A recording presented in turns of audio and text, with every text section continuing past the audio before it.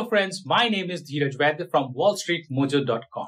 This is the part 2 of our ratio analysis video series and in this installment we will learn all about vertical analysis. In vertical analysis, each of the item in the financial statements is shown as a percentage of the base figure that helps in deeper understanding of financial numbers. So in this tutorial, we have basically four objectives. Number one, learn what vertical analysis mean. Number two, its formulas and the calculation. Number three, perform vertical analysis on the Colgate case study that we have.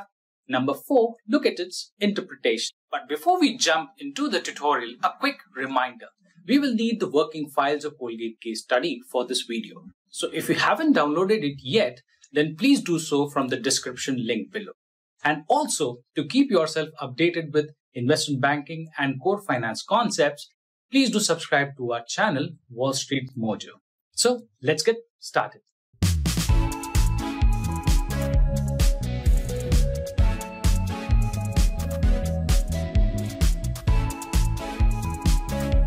So let us now start with vertical analysis. Vertical analysis was discussed in the ratio analysis framework in our last video. And uh, we noted that ratio analysis starts with companies' trends. And uh, within the company's trends, vertical analysis is the first set of steps to be taken for fundamental analysis of the company. Those who are looking at this video for the first time or haven't looked at the previous set of videos, please note that we are actually working on one case study that is this Colgate case study and uh, we are doing a ratio analysis of this company where vertical analysis is a part of that and if you do not have access to this uh, case study, please use the description link below to get access to the same. Okay, so this actually contains all the templates where we can go ahead and uh, calculate respective ratios. And uh, the download link below also provides you with the solution set. You'll have both of them. All right, so let's go ahead and uh, look at what is vertical analysis. Vertical analysis is a very, very simple way of analyzing a company. Just to start with, there are two kinds of vertical analysis, one with respect to the income statement and the other one is with respect to the balance sheet. Now, as you can see the formula above income statement item divided by total sales and this is basically expressed in percentage. Let's go to the income statement of Colgate and uh, see what that actually means for us. So here basically if you look at uh, this as an income statement for 2016, the income statement items are like this net sales, cost of sales, gross profits, selling general and administrative expenses, etc. Let's say when we divide cost of sales by net sales, that's what the formula is about vertical analysis. Vertical analysis typically mentions that you actually are doing this kind of analysis, which is a vertical analysis how it is different from a horizontal analysis you're not doing analysis over a period of time you're doing it on a comparative basis for this specific year itself. So vertical analysis basically is done on uh, two types of financial statements the income statement and the balance sheet. So as you can see on the screen the formulas are very very simple.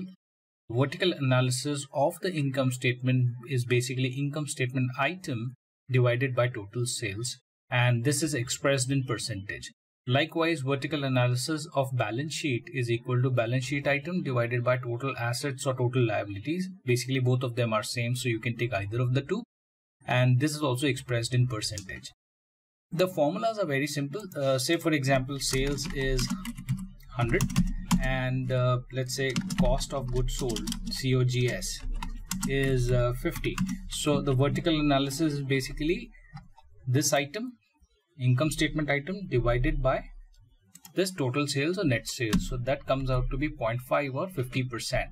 This is what the vertical analysis is. So how do we do it in colgate and what are the kind of interpretations to actually look at? We will just do that in the colgate's case study. So i'm going to the income statement here. So here I have the income statement of Colgate and uh, let's do the vertical analysis of the same. The first question is that why it is called as vertical analysis. Uh, vertical analysis because we will be doing all the calculations with respect to percentages on a vertical basis. That means each of the line item within the net income let's say cost of sales is divided by net sales of 2016. Likewise, selling general and administrative expenses is divided by net sales of 2016. So the analysis is limited to this vertical column. So that's why vertical analysis. All right. So once you scroll down within this Colgate Excel sheet, you will find there is a column here from row number 30 where there is lots of space for calculation of vertical analysis. The approach here is that you need to first press equal to and the first line item is net sales and you divide the net sales by net sales itself. So this is basically just to showcase that we are going to divide each and every line item by net sales. All right. So this comes out to be 100% of course. Likewise, when you do it for cost of sales, this will be equal to COGS cost of sales is 6072 divided by 15195. So this comes out to be 40%. Okay, so let's do the same for gross margins. This is equal to 9123 divided by 15195. So I would encourage all of you to complete this exercise uh, and this can be done pretty quickly if you are well versed with the references. How do you use the references and how do you complete this in a go? Basically, if you remember or if you are well versed or if you basically have an idea of references, just adding this dollar sign in front of the 6 might do the trick. So what happens here is, so I have quickly finished this vertical analysis and if you have not done yet, uh, please pause this video and uh, complete that before you continue with this. So uh, if you look at uh, the vertical analysis of the income statement, say for example for 2016, you might start noticing some interesting trends about the company let's observe this cost of sales. You know, cost of sales is 40% of the total sales. So it means if for every dollar hundred that is earned, dollar 40 goes into the cost of sales. Likewise, you know, uh, this 60% is the gross profit margins. Selling general and administrative expenses is 33.8%. So what you get essentially by doing this kind of analysis is a one-time snapshot about how the expenses and the revenue items actually flow within the company. Say, for example, uh, look at this interest expense net 0.7%. It was in 2016. All right. So, if we have this data for the other years, like we do in this case, we will be able to understand on a comparative way how the company has actually done over the years.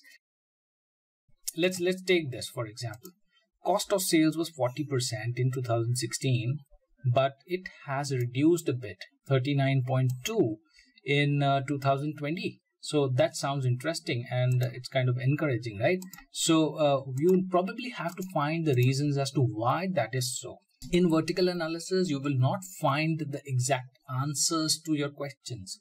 You will be able to find the right kind of questions here. Cost of sales have reduced.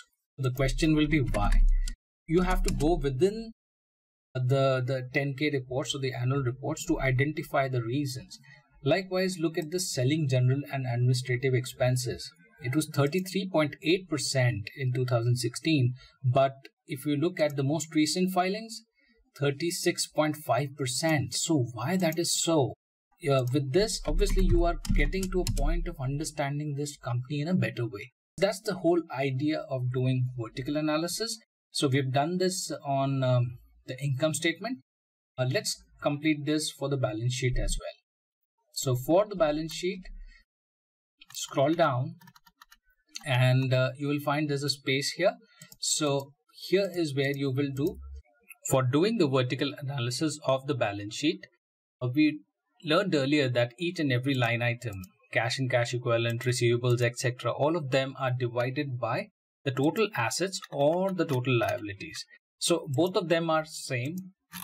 As you can see here, total assets is 1 to 1 to 3 and the total uh, liabilities is also 1 to 1 to 3. So you can divide each and every line item by either total assets or total liabilities. It, the answer will be one and the same. For a specific year, let's say December 16, the cash and cash equivalent was 1315 and we divide this 1315 by 12123 uh, that's how the vertical analysis for a specific year can be done. We'll do the calculations below. So once you're done with this 2016 you are supposed to do it for others as well so that you can compare it across the years too. So uh, let's do that. Please scroll down and you will find some space for the vertical analysis here of the balance sheet so basically for the cash and cash equivalent, this will be 1315 divided by 1213, 12123. All right. So this comes out to be 10.8%. So please note that I have already set this as a percentage style. So you don't have to multiply it by 100. But if you haven't set this as a percentage, you might have to multiply that by 100 too. But in Excel, it's easier to that way that you put this as percentage. Why don't you do this um, for the remaining items as well? So meanwhile, I'll also finish the same for uh, all the other years too. So here I'm done with the vertical analysis of uh, the Colgate's balance sheet and I would urge you to also finish the same before moving forward. Let us just look at the analysis part of it. So here we have 2016 figures.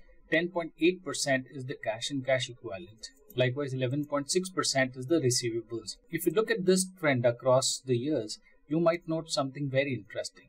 Cash and cash equivalents for Colgate has actually decreased over a period of time. Most recently, it is just 5.6%. You might again want to uh, go back to the 10K reports and understand and uh, rationalize why this is so. Likewise, when you look at the inventories, you know, you might find some kind of trend. 9.7% in 2016 and 10.5% in 2020. So why? Likewise, uh, receivables. So you might note that there would be something which is very interesting which you might get from this simple observations. Another interesting thing I guess would be related to goodwill. See, 7.4% uh, in the year of 2016, but now it is 24%. What exactly is Colgate actually doing, which is leading to a higher percentage of goodwill. Uh, maybe it is making acquisitions over a period of years. Similarly, you might note that the plant, equipment, and machinery (PPE) is now only 23.3%. So, you know, there are various interesting trends which you might have observed here.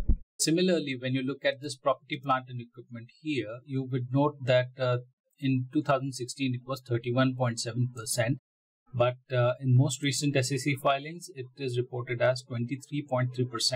So it has reduced significantly. So again, the question comes as to why this is happening like that. Uh, so let's move on to the liabilities side to see some interesting observations here. Accounts payables, 9.3% in 2016, but now it is 8.8%. Maybe an interesting term would be the long-term debt. So earlier in 2016, it was 53.8%, but now it has reduced. So again, the same question as to why. So why are we writing all of this? The basic idea is to understand more about the company, its trends, and we should be able to go back to the 10K reports and analyze certain important aspects of this financial statement. That's why I'm writing this here as why, so that I can go back later and uh, dig out the reasons. Similarly, if you look at this treasury stock, you know, this is a minus sign. So it essentially implies that Colgate has been buying back from the open market. And uh, this is leading to the negative shareholders' equity, uh, especially in the years of 2016, 17, and 18. Uh, so, this is very interesting if you look at the vertical analysis. And uh, it's very helpful to, to start with vertical analysis of income statement and balance sheet. So let us do a quick recap of what vertical analysis was. Vertical analysis formula for the income statement and balance sheet is pretty much the same. For income statement, it's the income statement item on the top, like the cost of goods sold or uh, the SG&A divided by total sales. And uh, for the vertical analysis of balance sheet, it's like the balance sheet item, cash and cash equivalents or account receivables divided by total assets or total liabilities when expressed in percentage. We did calculate the income statement uh, vertical analysis and uh, balance sheet vertical analysis and we found some interesting observations. When we did the same for vertical analysis of income statement, uh, we got the cost structures of the company, like uh, this SG&A, 33.8% uh, is basically the overall SG&A expense. Likewise, uh, cost of sales was 40% in 2016. Vertical analysis does help us in understanding the cost structures. Another thing where uh, vertical analysis is helpful is to identify the patterns. Like, uh, for example, here, SG&A expense uh, has increased from 33.8% to 36.5%. So we are able to identify the patterns but uh, the real answers we still are unsure of. For that, we will have to go to the annual reports and dig out the main reasons as to why that is happening. But vertical analysis does help us in identifying the right questions. Now, coming to the limitations, uh, which I think I should discuss here, it doesn't help uh, in, in terms of making any decisions, right? As of now, we are just analyzing the company and we are just looking at the questions. It doesn't help us in the final decision making yet. And uh, second is that uh, all of these percentages, you know, these are kind of calculated using uh, these cost of sales and SG&A expense, etc. Everything is subject to accounting shenanigans. Accounting shenanigans, but what, what I mean by this is that uh, if uh, management decides to change accounting policies so that they can uh, uh, you know represent their numbers in a better way. They can essentially do that. And uh, vertical analysis might not be able to catch that at all. For example depreciation policy change from uh, accelerated depreciation to let's say straight line method. When we are doing vertical analysis here we won't get that story. So uh, that's that's the limitation of vertical analysis. So you should be mindful about those aspects as well I hope you found this video to be useful. Please do like and share. And if you have any feedback or want to suggest a new topic for any future video, then you may do so by writing about it in the comments section. Also, we come up with interesting videos on investment banking and core finance topics very regularly. So if you haven't subscribed to our channel yet, please do so by clicking on the subscribe button below so that you can get the notification as soon as we release the latest video. I hope you enjoyed the video. Have a nice day. Thank you.